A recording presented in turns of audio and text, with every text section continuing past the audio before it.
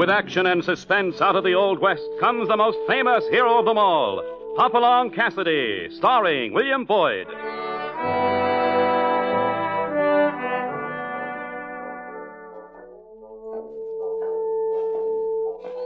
The ring of the silver spurs heralds the most amazing man ever to ride the prairies of the early West. Hopalong Cassidy, the same Hoppy you cheer in motion pictures, and the same California you've laughed at a million times. Raw courage and quick shooting have built a legend around this famous hero. Hopalong is a name to be feared, respected, and admired. For this great cowboy rides the trails of adventure and excitement. William Boyd as Hopalong Cassidy and Andy Clyde as California. What's our story this time, Hoppy? This one we call Stampede at Semple's Crossing. And it started during a cattle drive with the Bar 20 pushing 2,000 head north for railroad shipment. We've been on the trail 15 days and have just reached Semple's Crossing, where you always hold up overnight before fording the river. At the same time, another herd pulled in from the west, a herd much bigger than ours. We had both arrived at practically the same time, which meant trouble. And that night in the Silver Spur Saloon, trouble started. Here we go, Hoppy. Here comes Reb Moran, breathing fire out of both ears. Yeah, sure enough. Hi, Reb. Here you're the new trail boss for the Lazy J. That's right, Cassidy. I'm the new trail boss. And I figure you and me ought to settle this thing about crossing the ford tomorrow. You mean about who goes first? no question about that, is there? Bar 20 arrived first. Yeah, not so's anybody'd notice it. I had a man waiting there an hour before your beef pulled in. A man doesn't count, Reb. It's who gets cattle there first. Not the way I figured, Cassidy. Then you and I don't figure it alike. I never expected we would. But I expect to put Lazy J beef into that river first thing tomorrow morning. You've had a few drinks too many, Reb. Sleep 'em off, and we'll talk about it tomorrow. We'll talk about it right now. I'll tell you what I'll do, Cassidy. I'll fight you for it. Best man gets to take his herd across first. But we fight with our hands, not with our irons. Look, Moran, tomorrow's going to be a big day for both of us. Why don't you head for your blanket roll and turn in? Oh, what's the matter, Cassidy? You scared? I always heard you was a fancy man with your fists. But with me, you gotta prove it. Sorry, Moran, but I'm not going to take you on for a stupid reason like this. But you gotta take me on, Cassidy. you can't help yourself. No? And why not? You left just a couple of riders with your herd, didn't you? That's right. Well, I had some of my boys rope and hog tie 'em. You what? Yeah, and my boys are caring for that bar 20 beef right now. And if they hear three quick shots from out of this place, they know just what to do. Just what would they do, Reb? Stampede that herd of yours? Yeah. So it's up to you, Cassidy. Hmm. Either you fight me to see who crosses the river first, or you get them bar 20 steers scattered clear from here to the Continental Divide.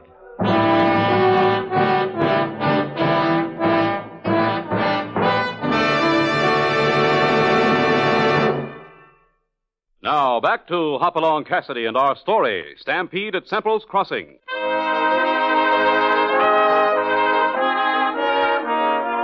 With the Bar 20 trail herd reaching an important river crossing almost at the same time as another herd, trouble has developed. Reb Moran, hard drinking trail boss of the Lazy J, has just challenged Hoppy to a fist fight to decide which outfit will ford the stream first. Hoppy is trying to avoid the fight, but Moran has set things up so that Hoppy must fight or have his herd stampeded all over the countryside. Ah, this is kid stuff, Reb. You've just been promoted and it's gone to your head. You figure I've got a little reputation and you'd like to get fat off of it by knocking me around. Just kid stuff, Reb. Yeah, come on, Cassidy. Do you fight it or them steers of yours start running? All right. That's the way you have to play, but it's got to be just between you and me. yeah. What's the matter, Cassidy? Your riders all yellow, too? Who are you? I'm Gillis, Reb's foreman. And I'm willing to stack the Lazy J against your outfit all the way. I'm sure you would, considering you outnumber us at least two to one. I'll say this again, Reb. The fight has to be just between you and me, or I'm not taking off these guns. I don't figure your guns are so tough either, Cassidy. Let him make something out of it, Reb. With his guns if he Now, wants. now, hold it, hold it. Let's just keep it a fist fight. All right, Cassidy, it's just between me and you. So take off your guns. And whoever wins has the undisputed right to take his herd across the river first. That's also agreed, Reb? That's the whole idea, Cassidy. All right. I'll take off the gun. Hello, eh? Wouldn't want to make any bets on this, would you, Cassidy? No bets, Reb. You're forcing the fight on me, and that's enough. Hey, anybody else want to bet? Put your money where your mouth is, Moran. I got 50 bucks to back Hoppy. I got fifty dollars to bet on Hopalong Cassidy too. I'll cover that. That's right, boys. Get your bets down. it's going to be a big evening for the Lazy J. All right, come on, Cassidy. Get your hands up. Crowd 'em, Reb. Get 'em fast. That's what I aim to do. Try this one, Cassidy. Ought to be just your size. Oh, fuck. Ah, not bad, Reb, but a little high. I felt it, though. And you're going to feel this one. Oh. I felt that one, too, Reb. Right up to my wrist. Care to get up? Then we can both try again. I'm getting up. And you're going down. It'll always be the same, Moran, even if you used an axe. uh, hey, uh, can you hear me, Moran? Doggone, he's, he's colder than a panhandle winter. Ah, give me a hand, California. We'll get him up. No, I, I don't need any help. I'll be all right. I guess this settles things, doesn't it, Reb? Huh? Yeah. Yeah, it settles things. Your outfit crosses the river first. Now I'm getting out of here. Nobody'd ever know you'd been in a scuffle, Hoppy. You don't show a mark. It's a, a great fight, Mr. Cassidy. Won me fifty dollars. Uh, my name is Clark, Mr. Cassidy, Tippy Clark, uh, and I sure am proud to know you.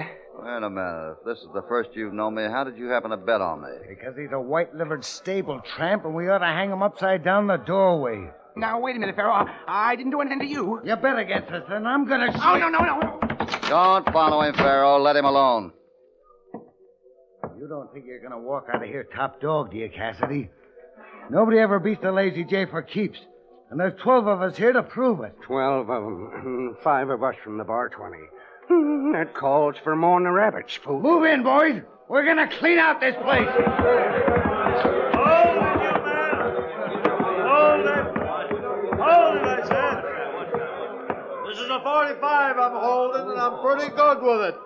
And the man alongside me is a lot better with his. Maybe all you gents don't know him. His name is Silent Jim Reed, and he happens to be marshal of this town. And I happen to be his deputy. You ought to know better than to make trouble, Pharaoh. You used to live here. I figure this to be our own fight, Gleason. That's all right, so long as it's just a couple of you. But when it comes to wrecking buildings with one of your range brawls, well, that's where we take over. We're taking you in, Pharaoh. Oh, you are. Yeah, you and this Cassidy. And maybe we'll have peace in town tonight. That's all right with me, Deputy. Head for the door, Pharaoh. My outfit ain't gonna take this, Gleason. Your outfit will take it and like it. I won't like it. I'm not gonna have this town turned upside down just because you fellas lost a fight and a few bets. That's what you think. Push that door open, Cassidy. After you, Marshal. All right. Now you, Pharaoh. And don't try. They come from across the street. Hoppy, you hit. Ah, I got a slug through the arm. Outside of that, I'm all right. But the town marshal wasn't so lucky. Looks as though he's dying.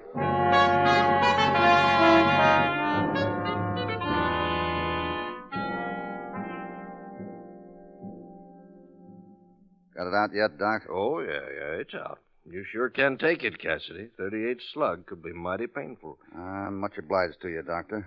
Will it be all right if I get down off this bar now? Oh, you better lie still a few more minutes, Cassidy. You're going to be a lot weaker than you think. Oh? Oh, yes, Tippy. What is it? Uh, the marshal's Silent Jim. He, he he's still lying out there. Yeah, well, he's dead, Tippy. Lying out there isn't going to hurt him now. He didn't die right away though. No, it took him about 20 minutes. Oh, sure, a tough way to go. If a man can't die in bed, it it seems like somebody ought to get his boots off for him. Why didn't somebody get the marshal's boots off? Why don't you go get 'em off, Tippy? Stuff the toes good, and they just about be your size. But did you see anyone fire those shots as you stepped outside, Cassidy? Sorry, Gleason. It was pretty dark out there. Yeah, but don't take a mind reader to figure who was on the other end of that gun. What are you thinking, Gleason? Well, Cassidy, you whipped that fire-eating trail boss of the Lazy J here tonight, Reb Moran. Moran was out of this place when the shooting happened. So that's who you think it was. Yep, I figured he couldn't take the whipping and stood out there waiting for you to show. Probably so riled up that he just let fire at everybody who stepped through the doorway. All right, Gleason, but what are you going to do about it? Well, Doc, I guess we'll have to try to bring Moran in. That might be quite a job. With Silent Jim gone, things around Semple's Crossing are liable to get pretty rough.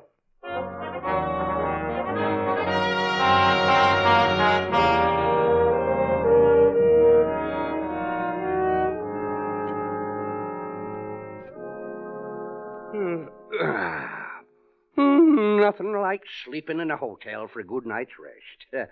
Uh, uh, how's the arm feel this morning, Hoppy? Nah, it's kind of stiff. I guess I'll be able to get around all right. We gonna swim them steers across that stream this morning or this afternoon? Uh, I'll get it.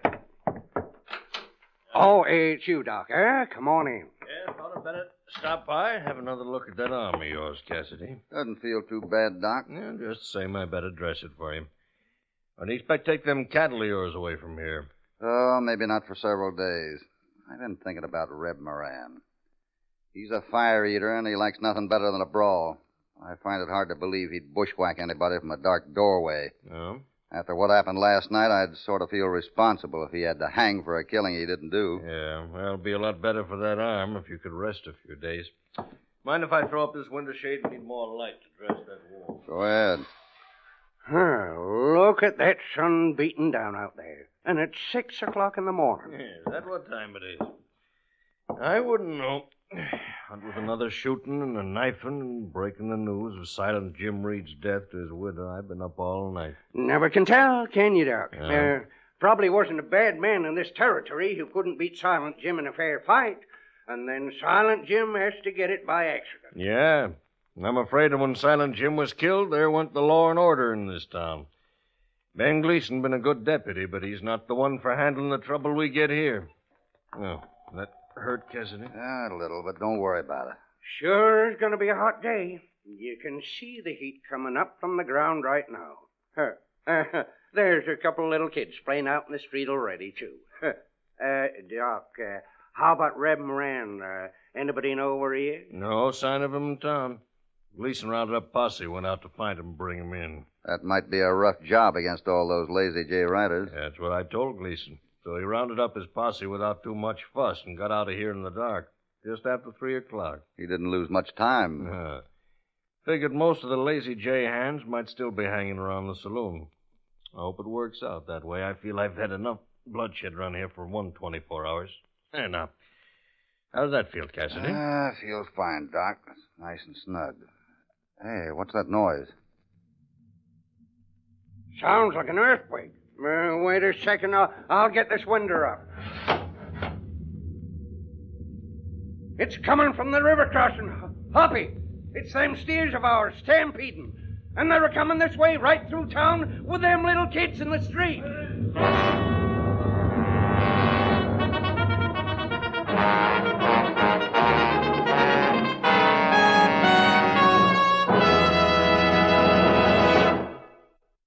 Now back to Hopalong Cassidy and our story Stampede at Semple's Crossing.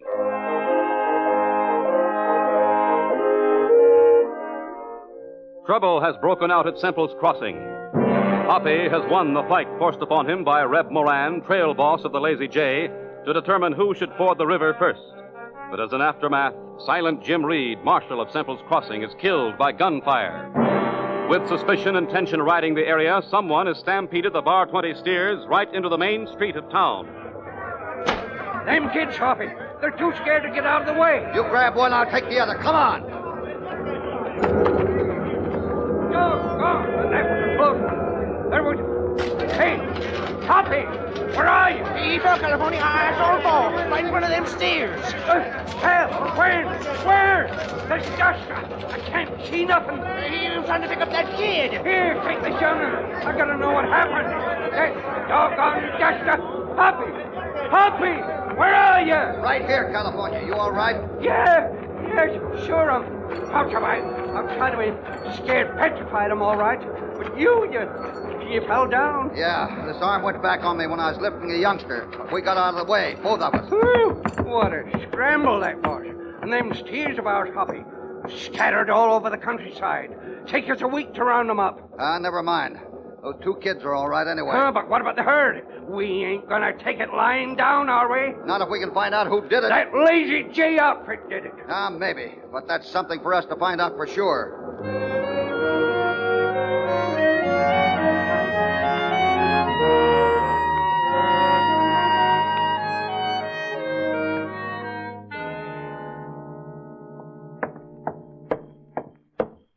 Sounds like you're in a hurry, Gleason. Who's that? Oh, it's you, Cassidy. Yeah, couldn't sleep, so I'm out here trying to catch a little breeze. How's the arm? Uh, it doesn't like what happened. Keeps letting me know it. A lot of pain the wound like that. Just brought Reb Moran in, me and the posse. Yeah, where'd you find him? Oh, we looked all day for him and then found him on our way back to town, still sleeping off his drunk under a spring wagon. Hmm. No trouble taking him. Didn't act like he knew what it was all about. Do you think he's guilty, Gleason? Oh, who knows? I'm never sure when a man's guilty. Not unless I see him do something. There's a lot of other people around here think he's guilty, though. Want to give him a quick trial, a quick sentence. Yeah, where are all your boys, Cassidy? Out rounding up cattle. We had a stampede here today. Yeah, I heard. You think Moran might have caused that, too? Oh, I don't know. I don't know either. I don't know anything about all this. But we came on to something funny out there today. Yeah, what was that? A couple of steers wearing new red hot brands. Yeah? Mm-hmm. A real new brand for these parts. A lazy bee. Lazy bee?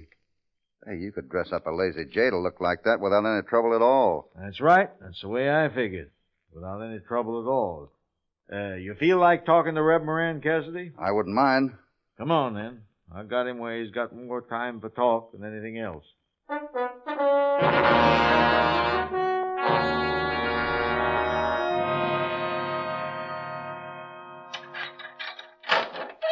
Got Hopalong Cassidy here, Moran. Says he'd like to talk to you. He thinks I try to gun him down. We got nothing to talk about. I'm not passing judgment on you, Reb. I'd never gun a man down that way if I was drunk or sober. You whipped me fair and square, and that was enough for me. How about stampeding my cattle, Reb? What? Don't know nothing about that either. You said you're going to. Said I was going to if, if you wouldn't fight. Anyway, a man says lots of things when he's liquored up. Don't mean he's going to do 'em. Well, lots of folks around here think it's you gunned down Silent Jim Reed, Reb. They think you tried for Cassidy and got the marshal instead. Not me. I might have had a few drinks. I'd never pull anything like that. Folks are going to put you on trial for it just the same. Well, how can they prove it? Somebody'd have to see me do a thing like that to prove it. Well, you better pray that nobody says they did see you. Because if somebody does that, you're going to hang. Hang? That's right. me? Yep. Come on, Cassidy. Time we got out of here. No, wait, wait a minute, Cassidy. Wait a minute. You, you ain't going to let him do that to me, are you? You know me from way back in Laredo. You know I wouldn't dry gulch anybody. You know that, don't you, Cassidy? Yeah, Reb, I guess I do know it. And if I can, I'll help you.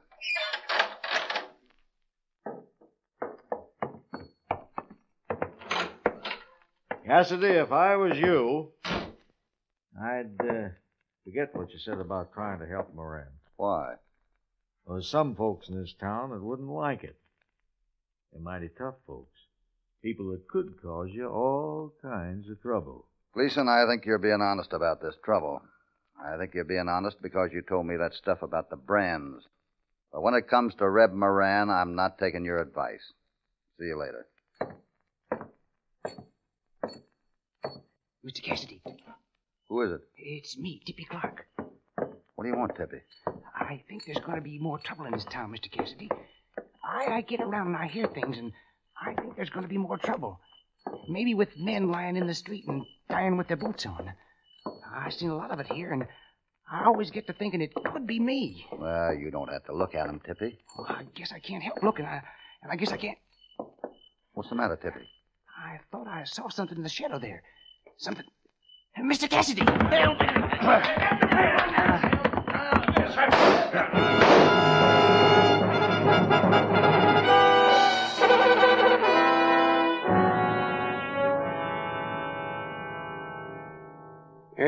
that's better. Uh, how's your head feel? No, I don't know. Pick it up and hand it to me, will you? Oh, no kidding, though. Uh, how do you feel? Oh, I'm all right, California. Where did you come from? Uh, got here just after them fellers jumped you. They vamoosed when I started a shooting at 'em. Where's Tippy? I don't know if he was with you. He ain't around now. Uh, now listen. Uh, before we do any more gabbing, we better get you over to the doc's place. That gash under your eye needs some help. Come on, I'll help you. Mm-hmm.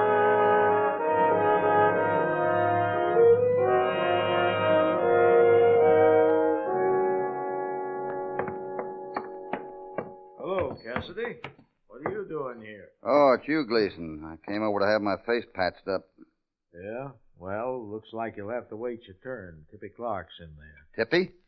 Doc says he's dying of a slug through the chest. Sent for me to take a statement from him. Come on in. You two can be witnesses. Yeah. Tippy. Now, Mr. Cassidy. Better stay by the door, Cassidy. He needs air. Pharaoh Gillis. How do you fit in this picture? I'm the one who carried Tippy over here. That's how I fit in. Hold him up a little higher, Pharaoh. He'll cough his life out before he can say two words. Gleason, you better get your statement in a hurry. This man is dying. All right, Doc. What do you want to say, Tippy? I, uh, I want to say I know who killed Silent Jim Reed and shot Mr. Cassidy last night. I, uh, I saw what happened when I went outside. It, it was Reb Moran. He was standing in the doorway across the street. Lift me up a little higher, Pharaoh. One of my spurs is caught in the couch. That all you got to say, Tippy? That, that's all, Mr. Gleason. I guess that settles our case then. I'll get the judge to bring Moran to trial in the morning. Before you go, Gleason, I'd like to ask a question. What? I'd like to know how you'd go about rustling an entire herd of 5,000 cattle. How I. What are you talking about, Cassidy? I've decided that the surest way of doing it would be to wait until it was being moved to market, far away from its home ranch. Then it wouldn't be too hard if the trail boss was moved out of the way. And if the foreman and maybe half the men were in cahoots. Wait a minute, Cassidy. Now you're talking about me. That's right, Pharaoh. But I'm not talking about you alone. Am I, Dr. Bradhurst? What do you mean, Cassidy? I mean, you're the brains behind all this. And that's why you wanted Silent Jim Reed out of the way. Because you knew he might be too smart for what you were trying to do. So you killed Silent Jim and tied it to Reb Moran. Oh, Hoppy, and that's why they stampeded our beef, to keep you out of the picture, huh? You sure you ain't making a big mistake, Cassidy? Doc Bradhurst? Doc Bradhurst and his Lazy Bee brand, his new and very personal brand. But Cassidy, five thousand head. Oh, they might not taken all of them. They'd have left maybe five or six hundred. Blamed the big loss on trouble here and on the trail. It was quite a plan, Doctor. But you're not going to be able to make it stick. You can't prove any of this, Cassidy. I can prove you said Tippy Clark was dying when he wasn't. And if we can find that branding iron of yours, maybe by searching this Shut house. up, Cassidy. One more word and this 45 puts your lights out. You too, Gleason. Now make a move. Afraid you made a mistake with that move, Pharaoh. Now Tippy's going to be able to talk. Aren't you, Tippy? Yes. They wanted to be sure Reb Moran would be convicted. Shut up, you. Don't mind him, Tippy. He has to keep the gun on us. So they made me say I saw Reb Moran kill Silent Jim. Farrell kept holding a knife against my back all the time. If I'd have said a wrong word, I, I was going to get it. Looks as though you're going to have to use that gun on him, Pharaoh. Yeah. And I'm going to start in with this squawking little polecat.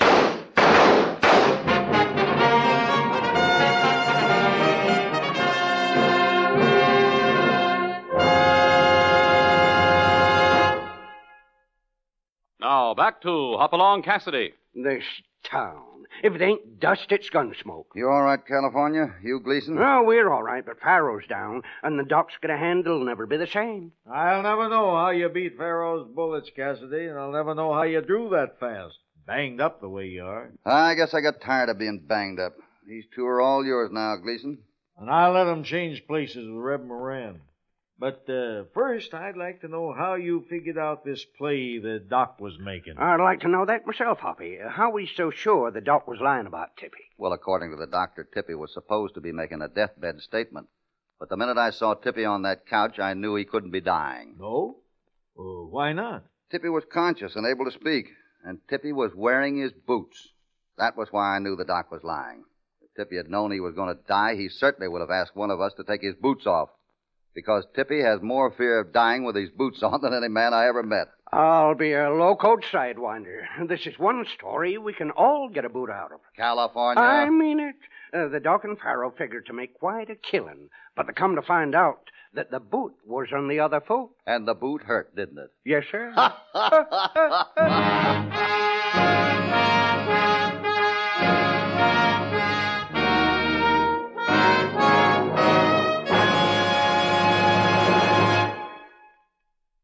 old adage that he died with his boots on surely tripped up the guilty ones in this Hoppy adventure. There's one thing certain when you follow the adventures of Hoppy and his pal California plenty of action and excitement every time. So don't miss Hopalong Cassidy's next action packed story. Hoppy and California mix it up plenty, and that's a promise.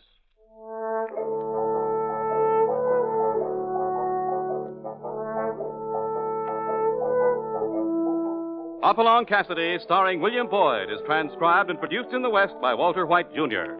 Stampede at Semple's Crossing was written by Buckley Angell with original music under the personal direction of Albert Glasser. All stories are based upon the characters created by Clarence E. Mulford. This is a Commodore production.